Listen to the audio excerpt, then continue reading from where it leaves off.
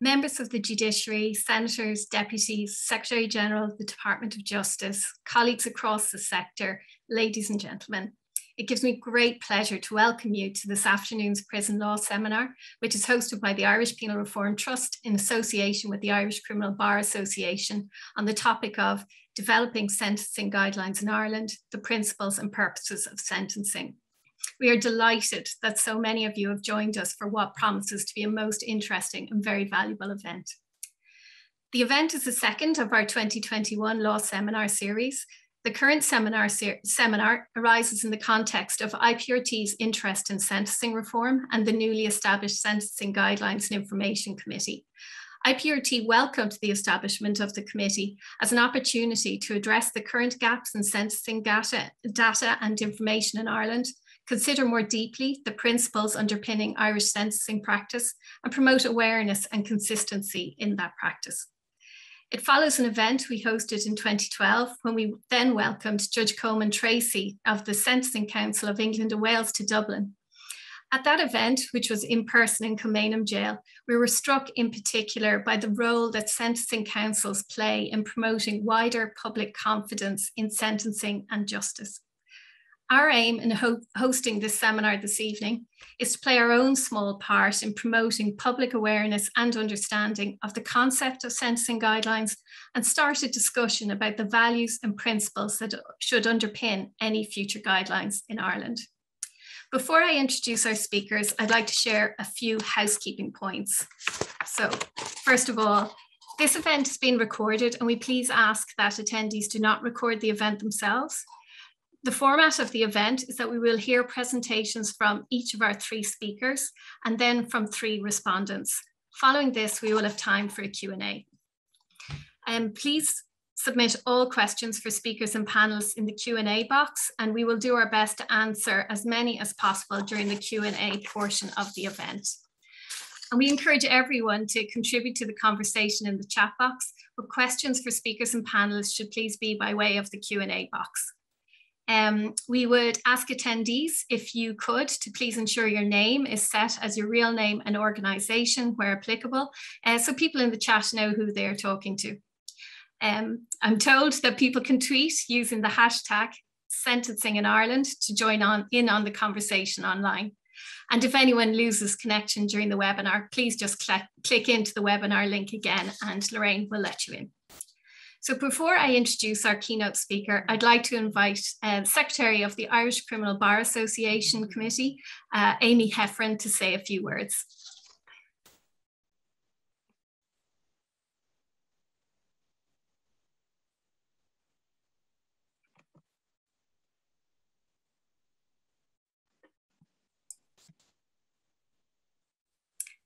Yes, good, good afternoon, everyone.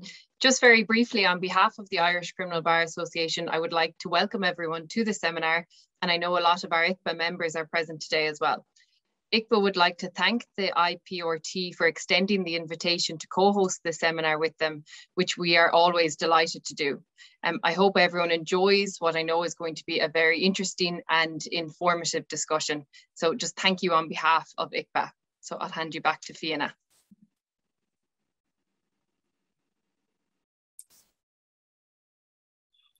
Okay, thanks everyone. Okay, so it is my pleasure to introduce our keynote speaker this evening, the Honourable Miss Justice Iseult O'Malley. Uh, the Honourable Miss Justice Iseult O'Malley attended Trinity College Dublin and the Honourable Society of the King's Inns before being called to the bar in 1987. During her practice, Miss Justice O'Malley mainly specialised in criminal law, but also judicial review, extradition, immigration and housing law. She was a director of the Free Legal Advice Centre, colleagues of ours, from 1985 to 2012, where she also served as chairperson for three years. Ms. Justice O'Malley was appointed a judge of the High Court in 2012 and the Supreme Court in 2015. She is the chair of the recently established Sentencing Guidelines and Information Committee.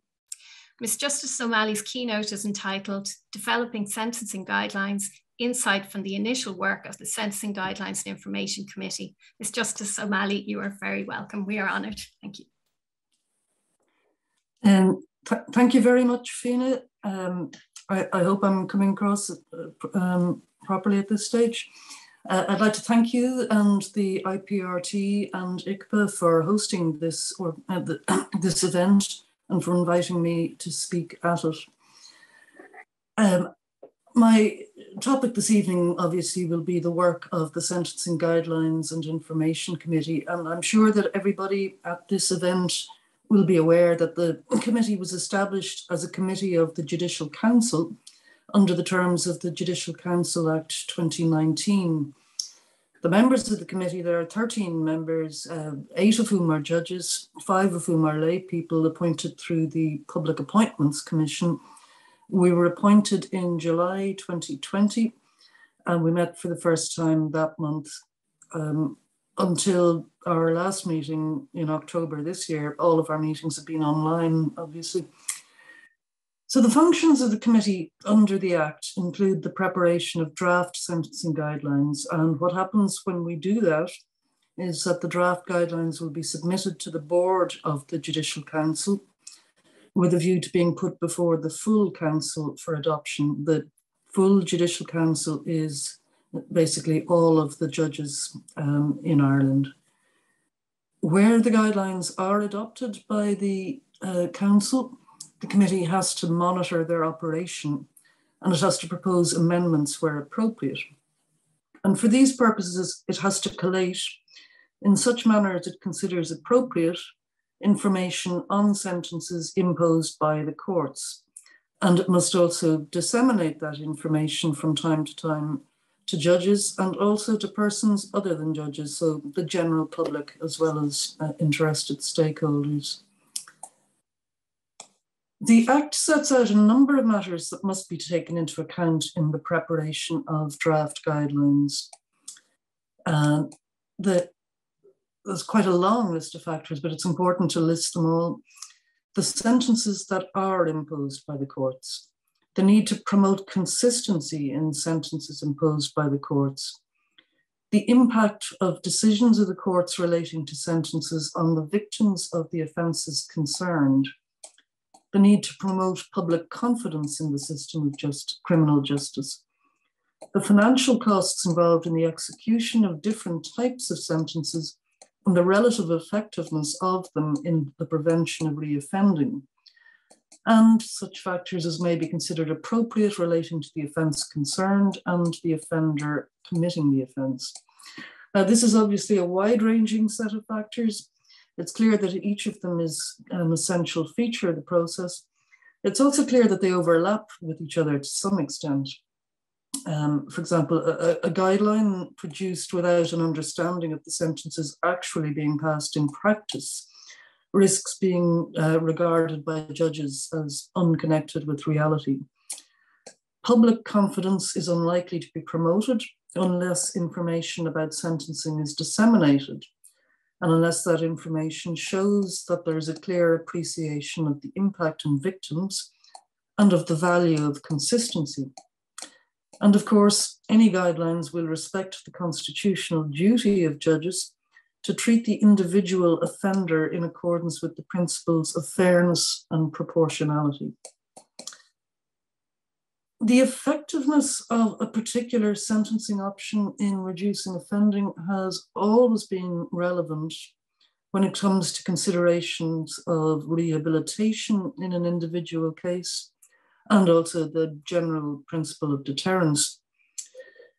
However, the, the requirement that the committee is to take the relative costs of sentencing options into account in the development guidelines may lead it into a new area to some extent uh, and involve us in consideration of factors that wouldn't normally up till now have been considered relevant in the sentencing process. Under the current legal principles relating to sentencing, cost is not usually taken into account in the sentencing decision any more than, for example, the, the availability of temporary release would be taken into account. These have usually been seen as matters for the executive, not part of the administration of justice.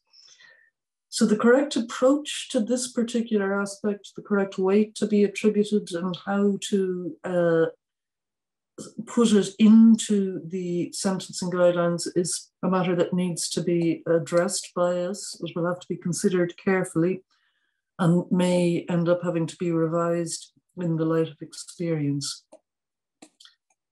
The hope is that guidelines will be produced that will assist sentencing judges in their task and it will provide clear information both to the persons directly involved in the sentencing process and to the public more generally.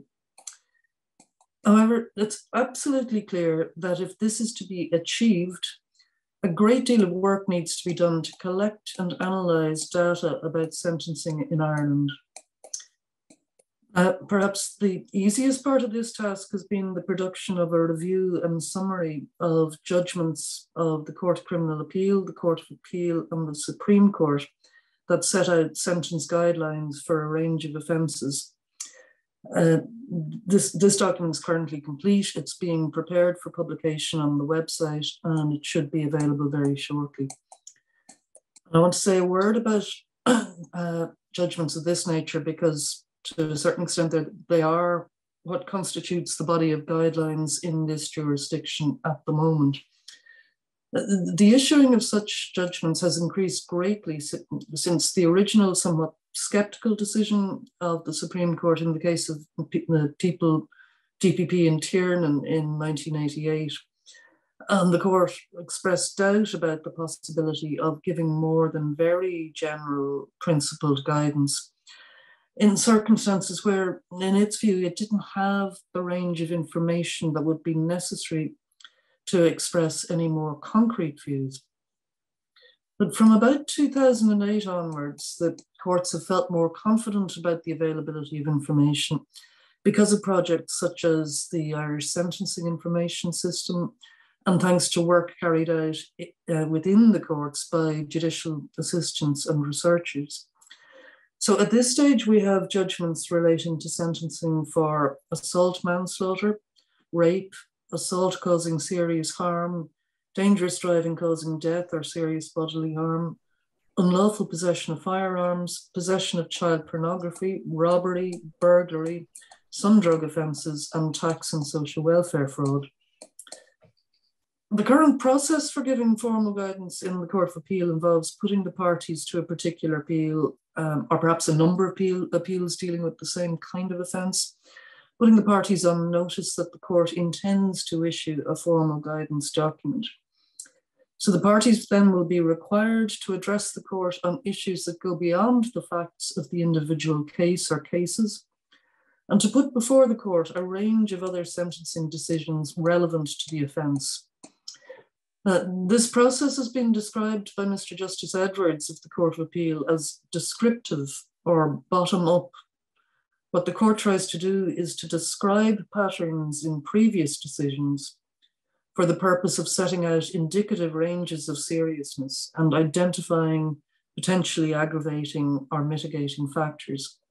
And then typically what the court does is to divide the available custodial sentencing options into three bands, usually starting with from naught to say five or naught to seven or what, whatever way it is divisible.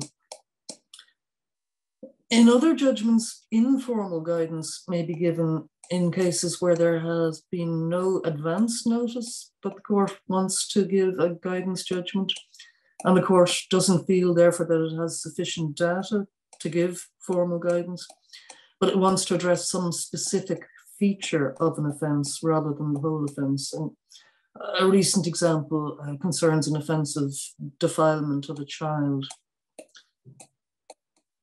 But while everyone concerned would accept that the guideline judgments of the Court of Appeal are of great value to trial judges, they do tend to be based on previous decisions of that court and on the Court of Criminal Appeal, and therefore on a potentially unrepresentative selection of cases. Because the Court of Appeal only hears appeals from the Central Criminal Court and the Circuit Court and also the special criminal court, but that's in really a category of its own. And it only deals with uh, appeals uh, relating to matters dealt with on indictment. And um, appeals are only taken in a minority of all of those cases. So it's this feature that leads me to what may be the biggest hurdle to the production of guidelines under the Act at the moment. We don't have a comprehensive set of data about sentencing practice in Ireland, and the committee is going to have to establish ways of getting the data that we need and of monitoring the impact of guidelines when they're produced. So for this purpose, we have started by engaging a very impressive international team uh, led by Professor Cyrus Tata of Strathclyde University. And the purpose is to assess met methodological approaches to sentencing data and analysis. The team includes Dr. Jay Gormley, also of Strathclyde, Professor Julian Roberts of Oxford University's Centre for Criminological Research, Professor Cassia Spohn of Arizona State University, and of course our own Tom O'Malley, now Tom O'Malley Senior Counsel. We have received a draft of the first of three interim reports envisaged in the contract. This document is confidential for the moment. Uh, it's a draft document and there will be feedback from the committee to it. But I can tell you that it's a literature review of the existing sentencing methodologies and data in Ireland. I think it's also fair to say, and it won't come as a great surprise to any of you, that the draft report is not finding any current single source of data that will meet the needs of the committee. The next stage of the research will be a literature review of sentencing methodologies and best practice in comparable jurisdictions where a body similar to the committee has been established. The third report will contain, contain recommendations in data collection and analysis. And the fourth final report will combine all of the findings and recommendations after feedback and discussions with the committee. Meanwhile, the committee has been working on the formulation of a process for the development of guidelines. Uh, it, this document is close to finalisation and will, when completed, be published on the Judicial Council website. So what we're trying to do here, the objective is to demonstrate commitment to evidence-based best practice. Uh, we will be publishing a step-by-step -step framework for the production of any form of guideline while allowing for the possibility that in some circumstances that framework may be it may be necessary to abridge or vary the, the procedure. Whatever shape the framework finally takes, it will certainly have to involve research and appropriate consultation stages. We have received valuable help in this task from Dr. Eoin Guilfoyle and Dr. Ian Marder, who's with us this evening, and also from the Scottish Sentencing Council, and that's a body that's been in existence since 2015, so obviously has uh, useful experience to share. We, we have tried to draw on their experience, and we agree with their advice to the effect that while it's important to get the development process right, it's nonetheless possible to make some progress on offence or offender specific guidelines at the same time. So with this possibility in mind, uh, we conducted an informal survey of the judiciary earlier this year, in which we asked judges to identify what they saw as priority areas for the committee's work. And there are certain themes that came through quite strongly. They include sexual offences, driving offences causing fatalities, and recurring issues in cases uh, concerning offences committed in the context of a past or ongoing relationship between the victim and the offender. This last category is of particular concern to the district court, since many of the relevant offences are triable summarily only. So we hope to engage a researcher in the coming months to carry out a research project with those judges who deal with criminal cases most frequently in the district court. And the intention is that they will be interviewed in some depth about their experience dealing with this particular category of case, as well as about more general or systemic issues in district court sentencing. Uh, I want to stress here the importance of remembering the constitutional position of the district court at all times in this context. A great many indictable offences are by statute also triable summarily in the district court and then with in relation to those offences, therefore, the legislature has envisaged that the facts may present as minor matters within the meaning of the Constitution. So it's essential that we don't produce guidelines that appear to have the effect of removing categories of offence from the jurisdiction of the district court by setting the sentencing parameters in a, such a way that only the higher courts would have jurisdiction to deal with them. Uh, finally, uh, I'm keen on keeping to my time, but I want to say something about research opportunities in the future in the hopes that it may be of interest to some of those present. Uh, when the committee gives out contracts, uh, any contracts over a certain value have to go through the full formal uh, procurement process. But we do envisage that there will from time to time be the need to engage a researcher for a smaller scale project, doesn't have to go through the full process. So we have tried to devise a system, um, uh, a fair system for the giving out of contracts of this sort. And what we've decided to do uh, is to establish a research register for suitably qualified persons. So the idea is that where the committee proposes to engage a researcher for a particular project, it will select not more than 10 persons from the register, and those persons will be invited to submit expressions of interest or proposals uh, for the project.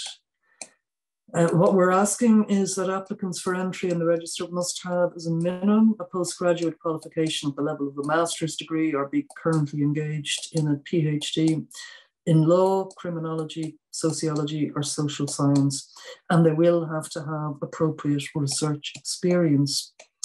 I should stress here that selection will be entirely within the discretion of the committee, having regard to our own assessment of the skills and experience necessary for any particular project. So there's no guarantee that inclusion on the register uh, will will mean that you will be invited to su submit proposals or still less that you'll actually be offered work, but it is a way of putting yourself up for consideration. So in summary, um, as to what the committee is doing at present, our approach is to assess the information that is already available, to devise and adopt methods of obtaining relevant data in the future, and to put in place a robust process for the drafting of guidelines specific to either categories of offence or categories of offender. This of necessity is not something that can be done swiftly. We do hope to do it, however, efficiently and effectively.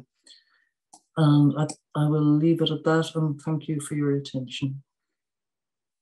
Many thanks, Ms. Justice O'Malley, for your opening, uh, for your keynote address, and for you know reminding us. We we know in many other areas about the challenges of of data, um, but the importance of consultation, and a reminder that this this is a process that is ongoing. It's very very valuable.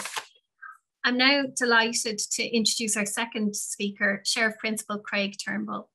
Sheriff Principal Turnbull attended the University of Strathclyde and was admitted as a solicitor in uh, 1988. He was appointed part-time sheriff in 2011 and full-time sheriff in 2014 before being appointed sheriff principal of Glasgow and Strathkelvin in 2016.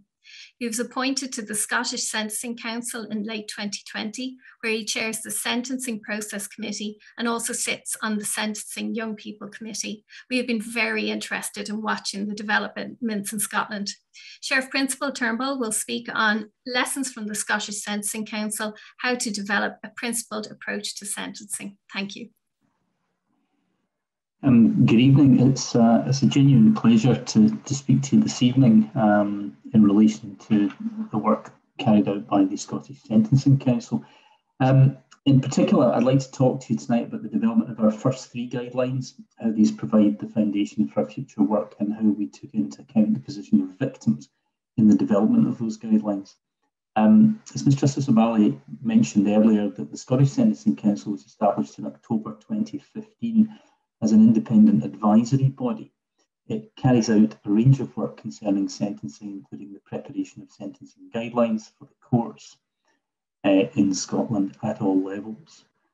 The Council decided to focus initially on general guidelines applying to all offences in Scotland rather than on areas of particular public concern, such as, for example, sexual offending. Unlike many other jurisdictions in Scotland, the, the fundamental principles and purposes of sentencing and the sentencing process, that is, the various steps judges go through when making sentencing decisions, had never previously been expressly defined in any single document. The Council thought it important to address this lacuna, considering the resulting guidelines would not only be of benefit to the public, but would also form a principled framework for future offence-specific guidelines. So the Council's first guideline, Principles and Purposes of Sentencing, came into force in November 2018 and applies to all offenders. It contains our core principle of sentencing, which is that sentences must be fair and proportionate. And it provides that all relevant factors must be considered, including the seriousness of the offence, the impact on the victim and others affected by the case, and the circumstances of the offender. So the, the position is clear, I'd suggest, a fair and proportionate sentence will include consideration of the impact on any victim. The guideline also lists possible purposes of a sentence, protection of the public, which includes deterring offending behaviour, punishment, rehabilitation, providing the opportunity to make amends, and expressing disapproval of offending behaviour. It is for the court to decide, in the absence of provision in another guideline or other legal requirement, which particular purpose or purposes should apply and which, if any, should be given greater or lesser emphasis. This allows the court to take full account of the circumstances of each case and to select a sentence with a view to achieving more than one purpose. This work naturally flowed into the question of how courts actually arrive at sentencing decisions. And this became the subject of the second general guideline, the sentencing process, which applies to all offenders sentenced on or after the 22nd of September this year. So this has been in force effectively for a month. Uh, the sentencing process, process guideline sets out an eight step process for reaching sentencing decisions and is available on our website for anyone who wants the details. We took the time to get this right as the structure of the sentencing process guideline will inevitably inform the shape of our forthcoming offence specific guidelines. We're presently working on guidelines covering offences of causing death by driving and sexual offences, including rape, sexual assault, and the possession of indecent images. It's presently envisaged that the forthcoming guidelines will follow the structure set out in the process guideline while providing additional detail about the factors to be considered when assessing the seriousness of an offence covered by the guideline or the particular aggravating and mitigating circumstances which might apply. Our third general guideline, sentencing young people, was submitted to the High Court of Justiciary in September. Um, the hearing scheduled to take place um, in the next few weeks, uh, at the beginning of November if the High Court approves the guideline, as it must do for our guidelines to have effect, we anticipate that the Sentencing Young People guideline will enter into force in late January 2022. This guideline will apply to all offences where the person being sentenced is a young person. Drawing on the latest research and evidence around cognitive development and how this can be affected by experiences of trauma and adversity, it defines a young person as anyone under the age of 25 at the time of a plea or finding of guilt. Um, the, the, draft guideline at this stage sets out the ways in which sentencing a young person is different from sentencing an older person. For example, uh, why rehabilitation is a primary consideration and why a young person's intellectual and emotional maturity should be considered when assessing their culpability for an offence. This is a key part of the court's assessment of the seriousness of an offence, which, in terms of the process guideline, is dependent on two things the culpability of the offender and the harm caused to any victim. Courts in Scotland are not required to follow our guidelines, but they must have regard to them once approved by the High Court. And if they decide not to follow an approved guideline, they must state their reasons for so doing. A point worth making about our guideline development is that we're obliged by statute to carry out consultation on a draft version of all our guidelines before we finalise and submit them to the High Court for approval. We're required to consult the Scottish ministers, uh, the Lord Advocate, who's the head of the Scottish Prosecution Service, and such other persons as we consider appropriate. One of the first decisions that the Council took was that it would carry out a full public consultation on each of its guidelines. In addition, we carry out a variety of in person engagement and research work.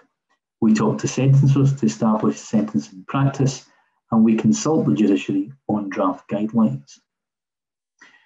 We engage with victims and survivors groups, practitioners, and other stakeholders. We carry out focus group research.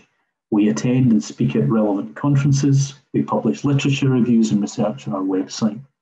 And this proved to be of particular assistance with our young people guideline, where we prepared the ground by commissioning and publishing a review by the University of Edinburgh of the evidence on cognitive and emotional maturity in adolescence and its relevance in judicial contexts. This review confirmed that, as I've already mentioned, we would be justified in defining, defining a young person uh, for the purpose of the guideline as someone under 25. We've also published on our website a significant amount of material aimed at improving awareness. These resources and the guidelines are already being used for educational purposes, and the Council is also promoting them as a basis for training for policy, criminal justice and advocacy, and support organisations in addition, they will hopefully assist the media in understanding and accurately reporting sentencing decisions. Uh, it, it, should be said there also benefit in terms of judicial training, in terms of new judges coming on board. Uh, for those who have never sentenced before, the benefit of a guideline uh, is already accepted as being very substantial. And we are, at least we hope, um, as transparent as we can be about our work. We have the advantage, as perhaps you do as well, of operating in a relatively small jurisdiction. We know our stakeholders and they have come to know us. Um, this process of consultation, engagement, research, and public information takes time, but it informs our approach to the drafting of our guidelines, and it's important that we get our guidelines right. Our, our credibility depends on it. We want to avoid unintended consequences, and we want our guidelines to be useful to the widest possible range of users. I, I can give you a, a concrete example of how this process affected the provisions regarding victims in one of our guidelines. So, during the consultation on the Young People Guideline, concerns were raised about the lack of reference to victims in the draft guideline. The, the assessment of the seriousness of offence, as I said earlier, depends on the level of culpability of the offender and on the level of harm caused. The Young People Guideline provides that youth may affect the court's assessment of culpability. Now, the Council has a desire not to repeat material across guidelines as far as possible. Um, so, as this is an offender focused guideline, victims were not directly referenced in the draft that was consulted upon. But in response to the concerns that were raised in the consultation process and to better explain the interaction between this guideline, the young person guideline, and the other guidelines, the version submitted for approval now makes it clear that the assessment of the level of harm is not affected by the assessment of maturity. And while rehabilitation is a primary consideration, it notes that the other purposes of sentencing may also apply to a greater or lesser degree. So, without altering the purpose of the guideline, this should make its intended effect clearer and perhaps provide reassurance to victims that any harm suffered by them is not diminished by the application of this guideline and remains central to the court's consideration. In conclusion, ladies and gentlemen, uh, I'd remind you that our council is still at a reasonably early stage of its existence. But if there are lessons to be learned from our experience as you start your own programme of work, can I suggest these?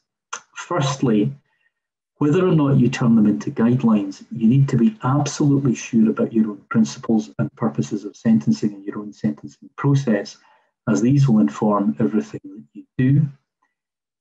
Secondly, consult and engage as widely as you can. And thirdly, be transparent in doing so. If you're doing good work, and you will be, publicise it. Let people see your research Provide materials which of assistance to anyone who wants to know more about sentencing. The more open you are, the more productive your relationships with the judiciary, with stakeholders, and with the media will be. Thank you very much.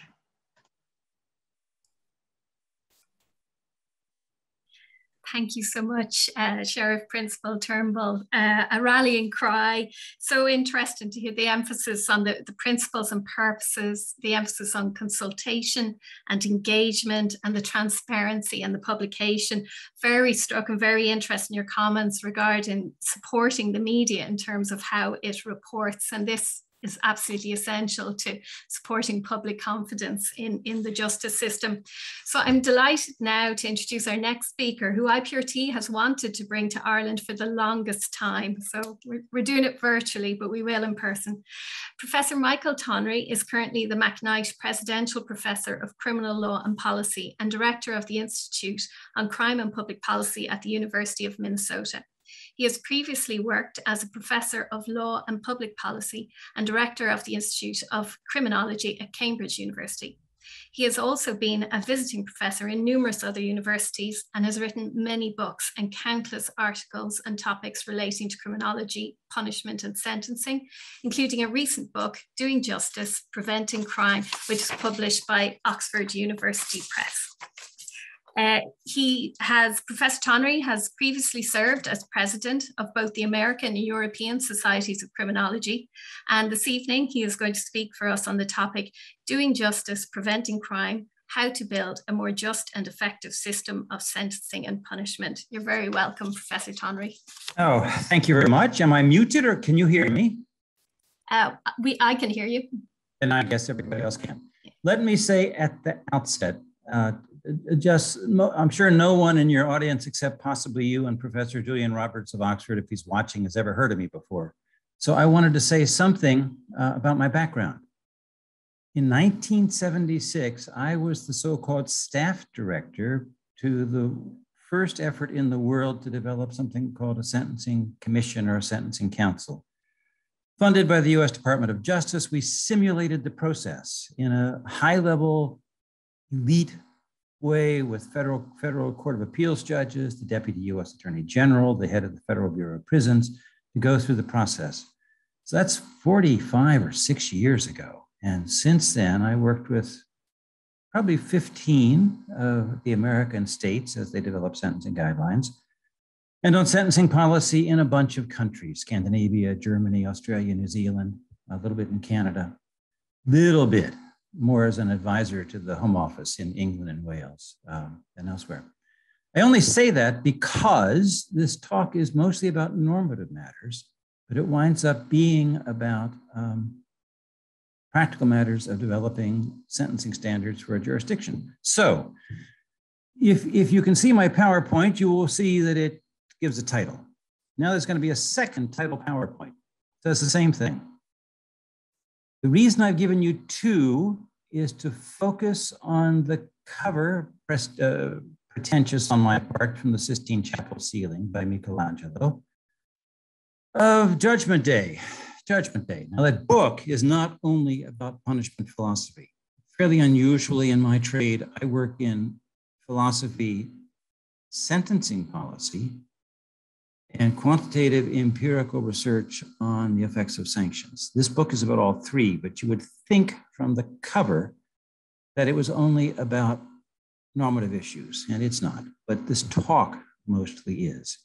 Now, I give you that picture because um, I think in most people's heads, in, in an unstudied way, including probably lay people, um, if in, in thinking about what ought to be done with someone who has committed some kind of a non trivial wrong, we tend to think that they ought to be punished justly. And, and being punished justly, philosophers would say, might ultimately mean being punished as God might do it. Now, God uh, has knowledge that, that the rest of us don't. So we can't possibly know what God would want in dealing with a particular offense in light of all the circumstances of the offense, in light of the history and personality and characteristics and mental properties and so on of the offender. Um, God knows all that and presumably would know what justice required. Uh, human beings don't know that, and our intuitions are widely different. So we can't get very close to it. But, but, but, but, this little talk is going to propose ways we might get a little closer than we typically do. So here's, here's an outline of my talk. The first is mysterious. It says, I'm going to talk for 90 seconds, 45 seconds about the frog's perspective on justice from Bion of Borysthenes. Then I'm going to uh, talk a little bit about what I think I would want the system to look like if one of my children uh, was to be sentenced. Then, philosophy pattern, I'm just going to represent those ideas, but in a more structural, jargon ridden, serious philosophy way to talk about certain kinds of principles. And then I'm going to say something about the implications of what the first three sections are about uh, for sentencing policy in Ireland and anywhere else. the frogs. Bion of Borysthenes, nobody knows how to pronounce that, and I don't either, so I guess. Um, one of the most famous of the pre-Socratic philosophers, observed, I'm just going to read this, observed of young boys playing on a summer's day by a stream in a grassy field. They found some frogs, and Ion says, though the boys throw fro- stones at frogs in jest, Yet the frogs do not die in jest, but in earnest. Now, I encountered this quotation when I was a student at Yale Law School many, many, many years ago. And it has always stuck with me. In my mind, it has always been the case that justice should be viewed from the frog's perspective. Justice should be viewed in terms of in terms of punishment, in terms of what's going to happen, in terms of how it feels, in terms of who the frog is, and so on. It, it, this is, is, trivializing my, my Sistine Chapel image. Um, but, but I think the frog's perspective is really important, vastly more important than the judge's perspective. In American sentencing policy, judges often seem to feel as if their ego or their status or something is in jeopardy if if discretion is taken from them, they're entitled to have their sentence imposed. I think that's nonsense. Sentencing isn't about judges, it's about justice to individuals. Okay, there's Bion. So, if, if, if we, well, some of you, I guess, no, nobody's in person. In person, I couldn't use this slide because it has too many words. Um, but if you're looking at it on a screen, then you can read the words as, as, as easily as I can. So I've thought through, you know, what if what if one of my kids was in serious trouble? My goodness, what if I was in serious trouble? Um, what would I want done if, if they were criminally prosecuted and convicted of a crime? I think most people would want the same things for their kids or themselves or other people they love as I would for people I know and love. Um, I'm just going to, no reason to talk about these in any great length, but I'd want them treated fairly and respectfully. That's fair enough. Doesn't happen often in American criminal courts where things are done by an assembly line and people see public defenders for 15 seconds when their bail hearing is called and so on. But that's what I would want. I would want people treated fairly and respectfully. Of course, I'd want all the people involved in processing cases to be impartial. Um, now that may seem to you uh, not, a, a, not a very ambitious thing to want, but in the United States, you may know most prosecutors are politically elected, and those who are appointed, even if they're civil servants, work for the top guy or gal. And the top guy or gal often has political issues in mind, media issues in mind, images they want to project. I hear bits of it even in the two presentations so far with this business of public reaction. Public reaction's got nothing to do with justice. Victims have nothing to do with justice. Victims have important interests. They need to be treated respectfully. They need to be kept well informed. They may need social services. They may need psychological services. Uh, but, but punishing offenders, justice to offenders is not about victims. I would want people I cared about to be treated in the same way everybody else is. But that is a way in which all the circumstances of their offense and of their lives should be taken into account sympathetically with respect and concern. Not stereotypes, not knee jerk stuff, not this is a gang member and so such and such things follow. People should be considered. Treatment as an equal is, is the philosophical term in distinction from equal treatment. Equal treatment means everybody gets mechanically treated the same way. Treatment as an equal means everybody's legitimate interests are considered with respect and concern. I would want them punished no more severely than they had to be, or they deserved to be. And if there were good reasons, less severely than that. Now, that makes no, that, that should be completely uncontroversial. If we had a comprehensive system of sentencing that said, well, robbery with violence is punished more seriously than robbery without violence, and robbery under certain circumstances is more punished more severely than robbery under less circumstances. There's a natural hierarchy there of seriousness of punishments for robbery. And wherever a case falls in that hierarchy, they should never be punished more severely than that. That just seems simple. Um, whether people are retributivists or utilitarian, punishing people more than can be justified in principle is per se unjust. And then finally, if someone I know was involved in the criminal justice system and, and, and facing sentencing, I would want them um, and, and, and their behavior or their circumstances involve aspects of mental illness, drug dependence, fundamental deficiencies in human capital, or other kinds of terrible handicaps and, and, and, and, limitations, I would want the system which was going to do something to them in the name of punishment to seriously attach, or, attack or consider those matters. Okay, those five things, nothing profound about it. Uh, but if you were treating people justly, I think you would do all those things. Now, in philosophy talk, we talk about principles of things. Um, you can reduce those five considerations into principles of justice. The first one is the last thing I spoke about. Offenders should never be punished more severely. That can be justified by their blameworthiness in respect to the severity of punishments justly imposed on others for the same and different offenses that's a matter of proportionality. It's, a, it's an absolutely simple but fundamental requirement of justice that certainly the English are not very good at, the Americans are not very good at it, the Canadians are better, the Scandinavians are fantastic at it. They have very clear principles about what's more serious than what. Second, obviously, these processes, given the interests that are at stake, right? People's liberty, their property, their reputations, in the craziness of the US, sometimes even their lives, and similar effects and consequences and ramifications for their children and their families and their loved ones, sometimes their communities. Clearly, people need to be treated absolutely fairly and, and handedly by, by, by, according to well established policies and rules and implemented in good faith.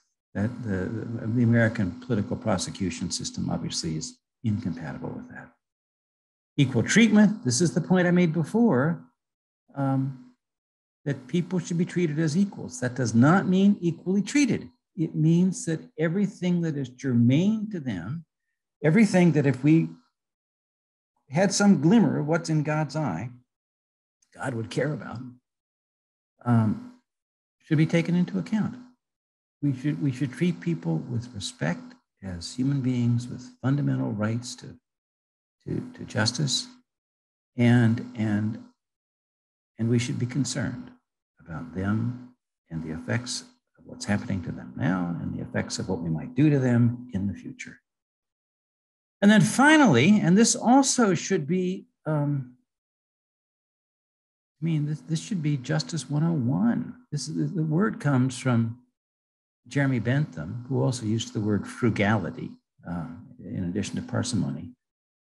And it simply says, you know, if there are valid purposes to punish people, and he was mostly interested in deterrence, you may you can justify punishing people as much as deterrence requires, he would have said, uh, but not one one bit more. Anything more is unjust because it it can't be justified in terms of legitimate considerations to be taken into account in deciding how to punish people. Uh, Immanuel Kant and Retributivists would say exactly the same. If, if a punishment is one inch more severe than proportionality considerations justify, then it's unjust. Okay. So those, those four, that's my philosophy pattern. Those four principles are, are a way to restate more formally the, uh, the, the, the five practical, what would I want for my kids? And so what are the implications for sentencing policy?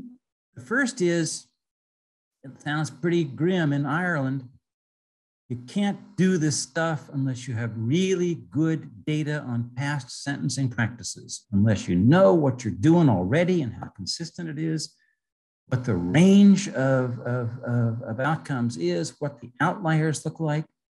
And you can't devise sensible policies without really good forecasting. And so that means major, deep, original data collection in a country like Ireland.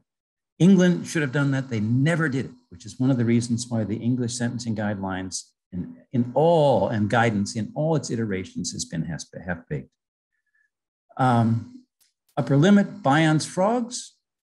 If you're ever going to punish people more justly than the norm, it should be very rare and and and and and uh, um, judges have to jump through hoops to, to make the case that they can justify doing something more severe than normal. Legal force, the, the, the English blow this entirely. Their, their guidelines are, are, there's no time to talk about it, but make the guidelines presumptively applicable. This is what the judge ordinarily should do in this kind of a case. That's part of making upward deviations very difficult. And if you have presumptive guidelines, um, you then can require judges to give full explanations of why they are imposing a sentence more severe than is ordinarily justified. And then finally, if you're going to have presumptive guidelines that have legal force, and judges are going to be required to explain why they did something else, you need a meaningful, toothy, I described, appellate review standard. Um, the phrase that got developed in the US in the couple of sentencing guidelines jurisdictions that are pretty normatively admirable um, is that judges have to have substantial and compelling reasons to impose a sentence more severe than would normally be required. Now, why might they do that? Uh, the research evidence wouldn't justify doing it on deterrent or incapacitative grounds, but if you believed it was, or if there were things about the seriousness of the crime, gratuitous violence or something, those might well be substantial and justifying reasons. So there we are. Um, I went through my four points. We did Bion. We did what, what I would want for my kids. We did what I want for my kids in punishment pattern, philosophy pattern. And, and now we've done implications for sentencing guidelines development in Ireland and anywhere else. And that's the end. So I relinquish uh, the screen and, and invite the organizers to take back over. Many thanks, Professor Tonry. Thank you so much for that, for stretching our thinking, making us think a little bit differently about it. Um, it, it, I, it, reminds me of a wonderful conference in Cork I attended some years ago when Professor Joanna Shapland uh, reviewed the evidence of what um, different parties had received from restorative justice. And really what she found that people who had been both been victims of crime and also perpetrators of crime, there was that key core uh, need that everybody had for justice and fairness, justice justice and fairness. So thank you so much. Um, so now I'm delighted to introduce the first of our three um, panel respondents to the, the three excellent speeches as uh, presentations we've heard this evening. Uh, the first is a man who needs very little introduction among us because he's just such a constructive engager across the sector. So Dr. Ian Marder joined the Department of Law in Maynooth University as assistant professor in 2018, where he chairs the MA in Comparative Criminology and Criminal Justice. Dr. Marder's doctoral research focused on the institutionalization of restorative justice in the police. He founded and runs the Community of Restorative Researchers and is a founding member of the European Forum for Restorative Justice uh, Research Committee and the Criminal Justice Alliance Restorative Justice Expert Group. You're very welcome, Ian. Thank you. Thank you very much, Fíona, and thank you so much to the speakers for their excellent presentations this afternoon. Uh, just to give a few reflections I've been uh, drafting as they've been speaking. I suppose, firstly, as a strong advocate of transparency in criminal justice policymaking, I'm especially grateful to Justice O'Malley for speaking publicly about the Guideline Committee's work and in relation to its ongoing work, such as its procedures and reports, its uh, priorities and intentions, and the questions it has and the conclusions it comes to, I really hope that the committee adopts a policy and a culture of ongoing transparency. My own research on sentencing guidelines has two broad themes. Firstly, with some statisticians and other colleagues in England, we conducted empirical research exploring the impact of guidelines on judicial decision making. And we found that guidelines can increase individualization, but do not necessarily do so. And also that guidelines can increase sentence severity, but again, do not necessarily do so.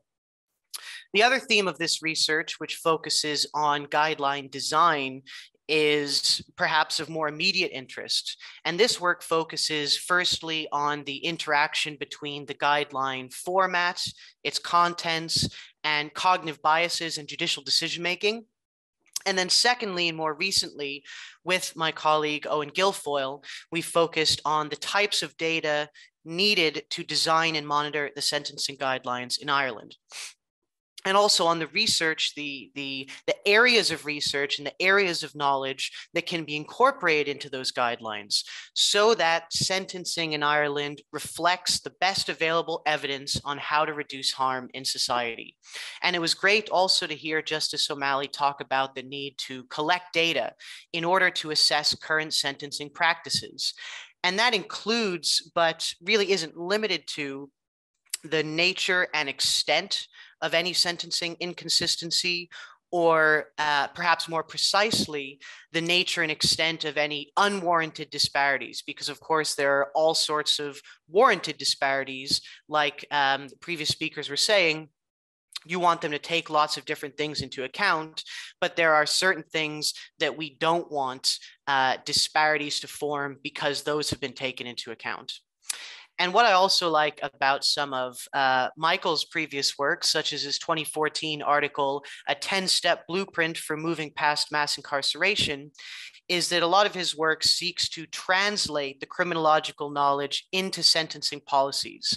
And that's really exactly what I hope the committee uh, takes advantage of the blank slate available to them in order to prioritize. And that's because we we we can't uh, plead ignorance when we're asked whether more or less punishment is good for society. We know that in the overwhelming majority of situations, the use of retributive rationales and the use of you know further punitive measures will make society less safe.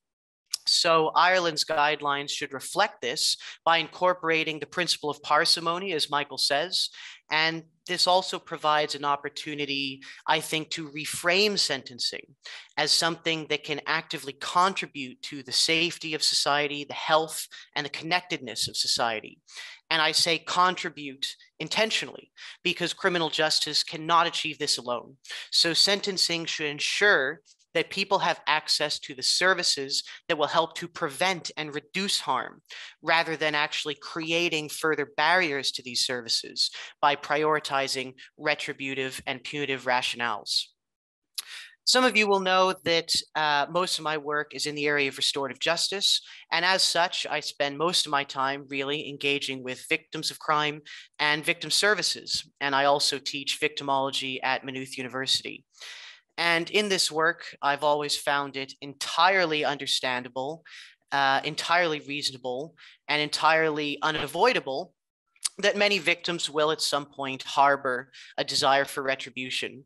And maybe a slightly different line than Michael took. You know, I do think that victims are among the stakeholders to the justice process whose needs and interests must be taken into account and balanced. But what I would say is that I think we're doing victims a disservice if we uh, continue to pretend effectively that their needs will be wholly or even primarily met by the criminal justice process and by sentencing.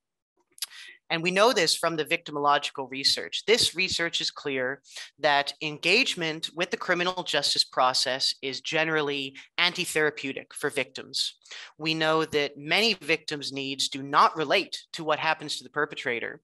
And we also know that the services which can actually be designed to meet victims' needs are chronically underfunded. And some of the really important ones don't even exist in some jurisdictions and in some parts of Ireland. So there's kind of two things here. One is around what do we want sentencing to look like and how can that uh, maximize, you know, how can we uh, maximize the return of sentencing to society? And then, somewhat separately, I suppose, if we're really serious about supporting victims, our priority there should be investment in both basic victim services and also innovative victim services. And some of these, like restorative justice, may, but don't necessarily have an impact on the criminal justice procedure. But some of these, like for example, a couple years ago, New Zealand brought in paid leave for victims of domestic violence. That's not contingent at all on what happens to the perpetrator. So, in uh, having these new guidelines, Ireland can either kind of follow the paths of other countries, you know, some of which Michael pointed out, I think rightly, you know, haven't used guidelines to their full potential, or it can take this really substantial opportunity, this blank slate, and ensure that the principles and purposes of sentencing and any subsequent thematic or offense specific guidelines will reflect the best available evidence. And that's what I'll finish on. Thanks, Fíona.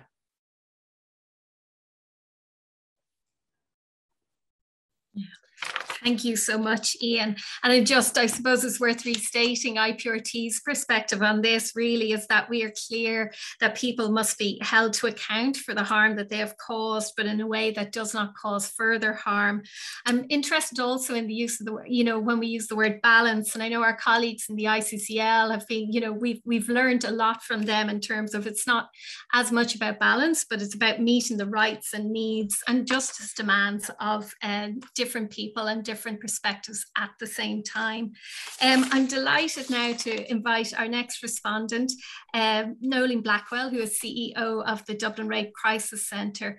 The Dublin Rape Crisis Centre aims to prevent and heal the trauma of rape and sexual abuse through a range of services to support survivors of sexual violence, as well as carry out broader advocacy to influence change in policies, services, and legislation that affects victims of sexual violence.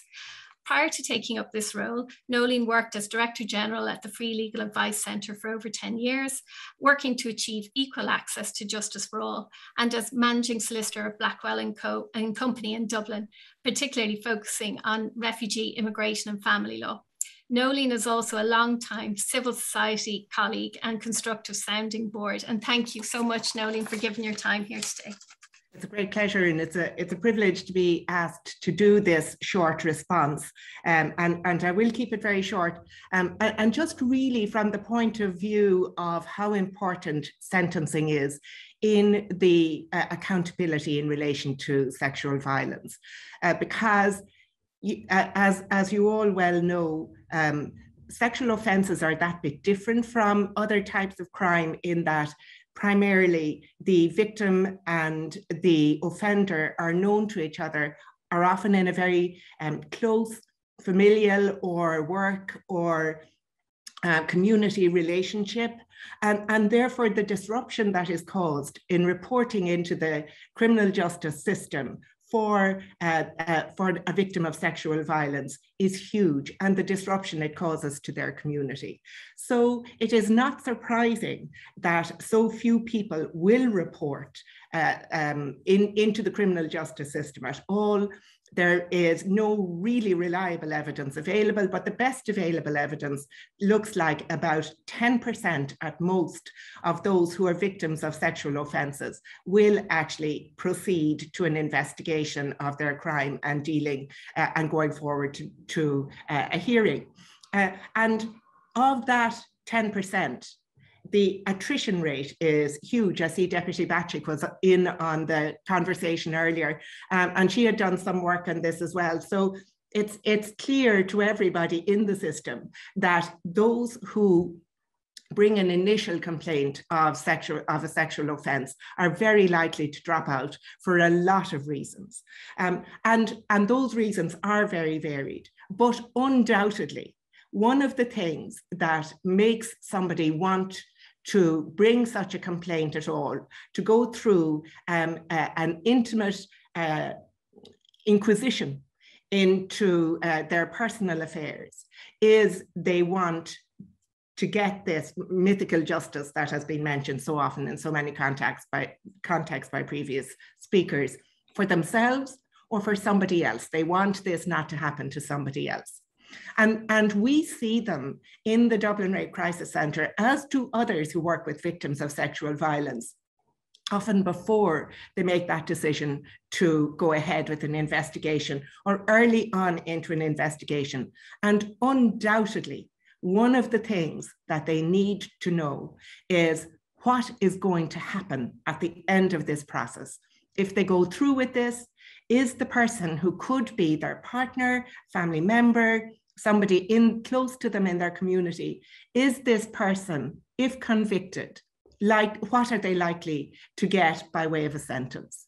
And right now, we have to say, well, do you know what? If you're a really good lawyer, you can go back along and, and look over the cases. But as Judge O'Malley said in, in her presentation, even what, what is identified out of those cases comes from a very small pool as well. And very often we have to say, do you know what? We can give you a general idea that this has been the trend over the past few years, but it kind of depends on the judge on the day. Uh, it depends on oh, so many other things. And we so miss not having sentencing guidelines. So while I totally understand and I'm here to respond, I suppose, as somebody a little bit outside of the system now, although I, I still love the law and, and all it can do for justice. I feel despondent that it seems like it is going to be a very long time before we come up with sufficient data to build good sentencing guidelines, which would allow us to say, in fairness to uh, those who are thinking even of, uh, be, of prosecution, of, of, prosec- of being a witness in a prosecution, to, to people who may already know what abuse looks like from the person against whom the complaint is made, to say, I don't know whether he will or she will get a sentence at the end of this that justifies um, the, the complaint or that that they, they won't be able to use their position of abuse. So that was why in some ways I, I uh, had, when I came in first, I found that lovely sentencing database that was started way back before the last recession, and which had the unfortunate name of ISIS or the acronym of ISIS. Um, but it really was looked like such a useful thing for us to be able to say, that you could actually look at a sentencing database and work out roughly what the range of sentences were going to be. But, and one of the most useful things we've had in recent years is a Supreme Court decision, DPP um, and FE, uh, which was uh, where there's a judgment in December of 2019, where in some ways it is, it is nearly clear enough, it is clear enough to give that judgment intact to a whole uh, to a whole range of people and maybe to edit it for some others to say that the Supreme Court has set these guidelines in relation to rape. You are unlikely to get a suspended sentence. You have the naught to seven, and as Judge O'Malley was saying, you have those various ranges along the way, the mitigating factors, the aggravating factors, the breach of trust being the huge aggravating factor in, in rape by uh, a man of his wife.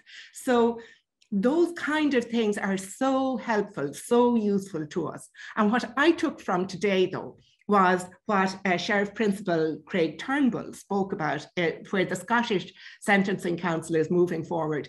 That even if it is going to take us a long time to gather the data for um, specific offences, maybe we could do more on the principles, on the identification of main sentencing uh, provisions, the, the principles that also uh, Professor Tonry spoke about, you know, that we could set those out and that they would be on the Judicial Council website so that we could say, look, within reason, this is what uh, what, what is going to be taken into account. It is also an education process for people who either think nothing will happen if they report into the justice system or who think that they will get that they will get blood.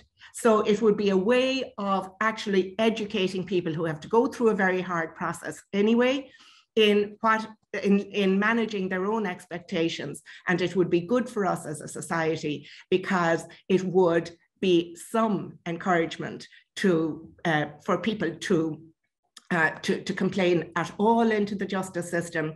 And if we don't have those people complaining in, and if people aren't held to account, then our society is a less safe place. I'll leave it at that, Fíona. Thank you.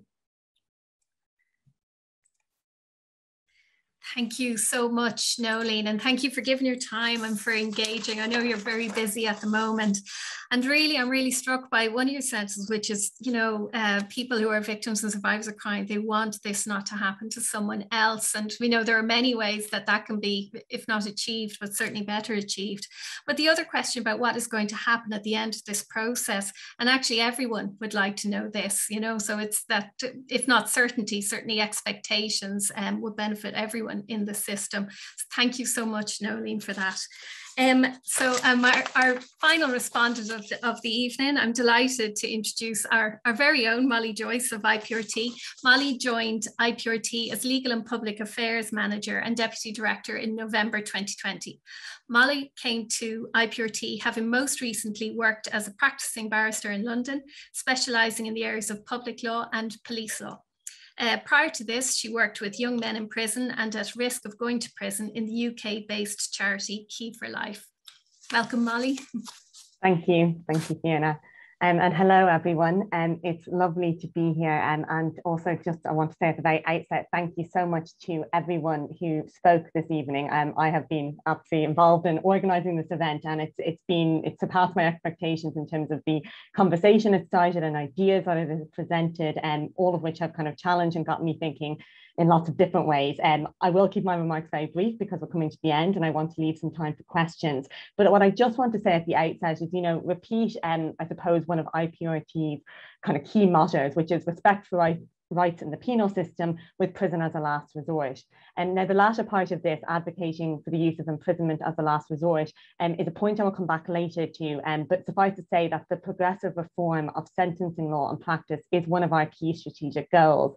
Um, and that goal has received a renewed focus with the onset of the Legal and Public Affairs Programme, which as Fíona mentioned, started last year when I joined the organisation and for which I am responsible.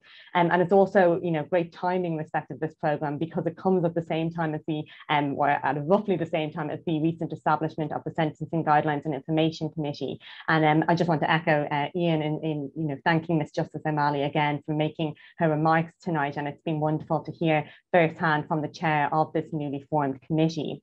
And in the time I have, I want to just make uh, address really three key points in kind of response to what we have heard this evening. Um, and that's in respect of first, the issue of data, sentencing data. Second, um, what we can learn from Scotland. Um, and third, the kind of uh, principles and the philosophy, philosophy, philosophical principles underpinning um, you know, how we might go about developing sentencing guidelines. In respect of the first point in sentencing data, um, we really welcome Ms Justice O'Malley's acknowledgement that there is a current lack of comprehensive sentencing data in Ireland, and particularly in respect of the lower level courts, the district courts, where it is quite hard to understand what is actually happening. Um, and also, and perhaps most importantly, her recognition of the significant amount of work that now needs to be done in collecting and analysing that data. Um, and again, that was a point, you know, that the importance of data has been emphasised by Professor Tonry and also by Ian uh, uh, many others tonight. And um, I suppose two quick points in respect to that from our perspective.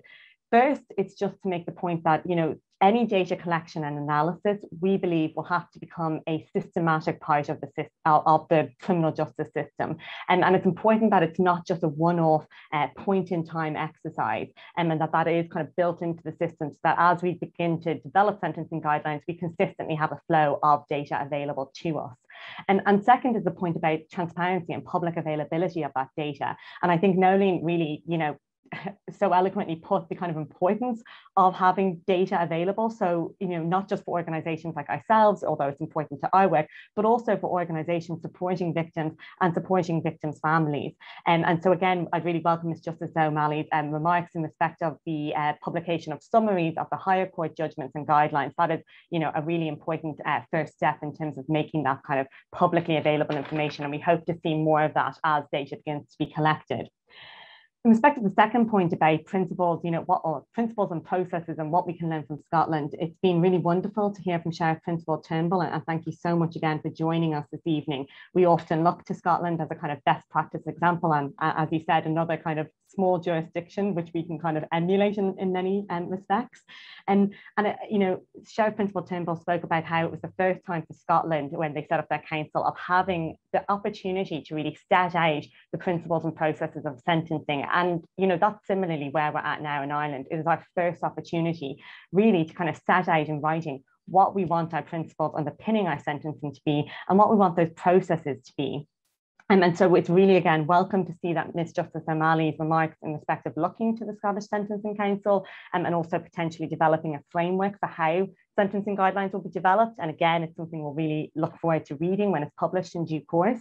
Um, and I was also really struck um, by Sheriff Principal Turnbull's um, you know, many remarks in respect, in respect of the importance of consultation, engagement with the public and transparency. And I really you know, it's something IPRT strongly agrees with and, and really believes it's going to be an incredibly important part of the sentencing committee's work as it goes forward. And, and in particular, you know, I think that that public education and public awareness bit is going to be so important. I mean, I'd recommend looking at the Scottish Sentencing Council web council website, which I think has been put in the chat, and because it is an excellent example of how to communicate complex ideas in a straightforward, easy to read manner. It has things like myth busters, jargon, jargon busters, and if you were the judge case studies, all of which are really useful tools that can be used by you know teachers, by people working with you know members of the public to help them understand how sentencing actually works. And, and you know, really that engagement too with the media, with Sheriff uh, Principal Turnbull, in my view, is absolutely crucial because I think a lot of people don't have a very good understanding of how sentencing actually works and that we see you know a lot of rhetoric that can be quite damaging. And it's damaging not just to the people involved, so the people who have maybe been convicted and sentenced, um, but also to victims um, and to um, survivors of, of different kinds of, of crimes. And so I think that consultation engagement with the public is going to be hugely important. And in respect of one point uh, on that is just to you know make the point that in order to actually do this, of course, the Sentencing Guidelines um, and Information Committee in Ireland is going to need proper resourcing and funding. Um, and that's going to be something that needs to be committed to over the long term. And it's something that IPRT will very strongly be looking at and you know advocating for the proper um, resourcing of the committee so that it is actually able to carry out the ambitious goals that have been set out for it in its legislation. Um, I'm slightly running over time, so I'll, I'll get to the last point, um, which is the kind of philosophical point. And I suppose, as I said, you know, I come back to the point that IPRT, um, you know, I we're, led by an ethos of penal moderation and uh, penal parsimony, and, and and that view is really based on the point that the size, you know, our understanding and our belief that the size of our prison population is not simply a product of demographics or crime rates, but rather is the result of an interplay of law, politics, and social factors within which sentencing law and practice is central and can actually make a really fundamental difference. And we really welcomed, you know, and I found uh, Professor Tonry's presentation extremely thought-provoking. His book is extremely thought-provoking, and I'd recommend everyone here who's interested to, to have a read of it.